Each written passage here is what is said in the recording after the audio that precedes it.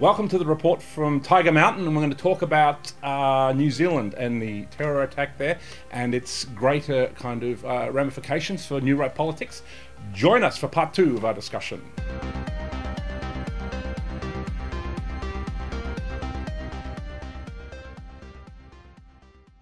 Obviously, uh, the event in New Zealand was tragic, and I, um, in my previous video, I condemned it and, and stated my uh, opinions on the some of the wider ramifications. But there also was some very strange things that came of that uh, attack. One of the weirdest things that uh, came out was the New Zealand Prime Minister decided to um, essentially dress up as uh, wear the uh, wear the veil. What's what's that called again? Um, the hijab. Wear the hijab, and um, someone pointed out in a Facebook meme, it's a little bit like someone uh, might have, you know, I don't know, walked into a bar in um, Southern California and shot up, say, 30 Mexicans, and um, Trump puts on a sombrero and then runs around, you know, and get for photos opportunities dressed up as a Mexican. I think that would be utterly fucking ridiculous, and I think the press would justifiably crucify Donald Trump if he did that.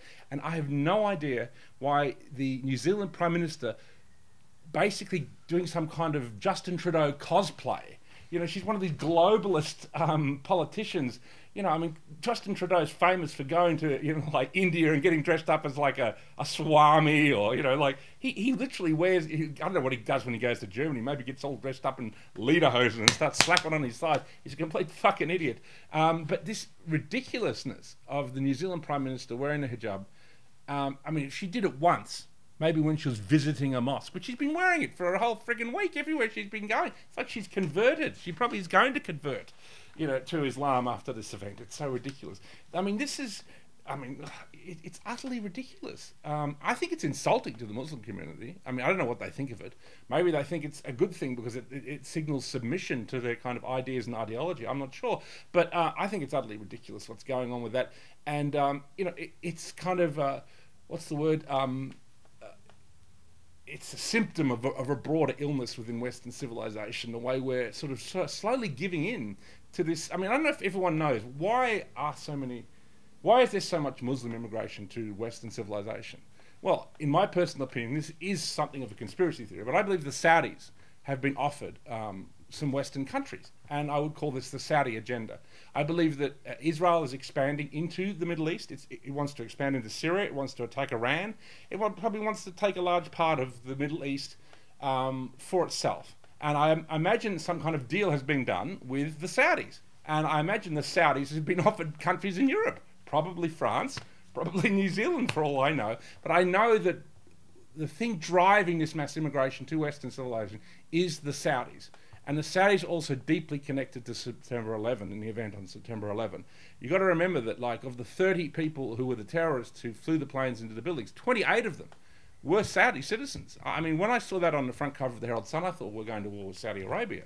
But no, we didn't. We went to war with Iraq, Afghanistan, Libya, Syria, Yemen, Pakistan. I mean, every other country just about, except Iran, which is obviously next and um, and Saudi Arabia, which is of course the one country that seemed to actually be guilty for it, is the one country we're not attacking. So this is a very strange um, series of events that seem to me to be um, uh, again part of some what I would call the, the secret kind of secret globalist agenda behind what's going on, and the way our politicians are all bending over backwards to. Uh, to like you know dress up in, in, in Islamic garb is utterly ridiculous. I mean you know if there's a and this is another important thing um, it, uh, why the attack in New Zealand was horrible. There have been many, many, many attacks on Christians around the world uh, by radical Islamic terrorism.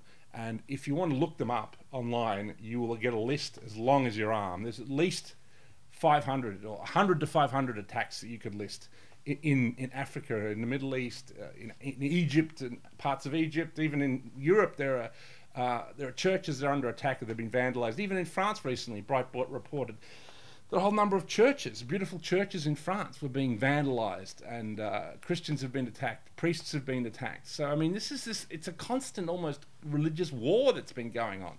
Um, you know, so you've got to see these things in perspective, and the way that uh, our politicians only seem to care.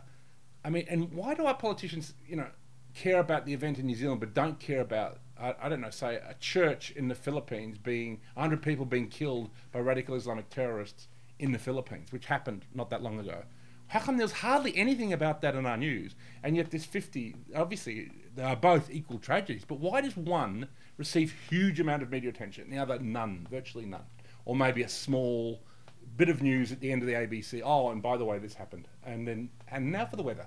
You know what I mean? Like this, the way that the, mani- the media manipulates our attention, the way the media manipulates towards this globalist politics and this globalist agenda is yet another thing driving us towards this 1984 um, nightmare world that we're hopefully all trying to avoid. And also, there are some conspiracy theories floating about about this attack. One of the reasons they say the video has been banned is that there are many weird inconsistencies in it. I have not studied the video, and I believe that's something independent journalists should study, and also, um, obviously, various police force from around the world, including Russian police force, who might actually tell us the truth about what happened in, in New Zealand because I suspect what happened in New Zealand was a globalist event and that this fellow who attacked, this Tarrant fellow, could be what's called an agent provocateur. Now, an agent provocateur is essentially a double agent.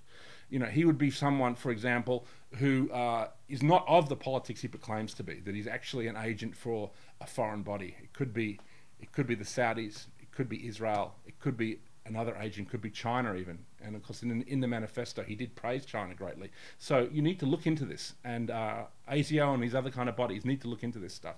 Um, so in my next video, I will talk about conspiracy theories and uh, talk about some general ideas about that. But um, okay, that's it for today. And uh, enjoy this video and um, about a grim topic. But I do think we need to face some um, uncomfortable uh, questions about difficult topics. Thank you for watching.